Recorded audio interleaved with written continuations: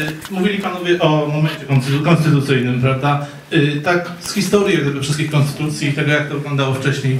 To, kto rozpoczynał debatę o konstytucji, kto ją wprowadzał, w jaki sposób to wpływało na późniejszy jej kształt i także w jaki sposób to potem, y, w jakim kierunku potem szła jak gdyby cała struktura państwa i jego zasady i no, jak gdyby cały, cały kierunek państwa, jaki nadawała konstytucja.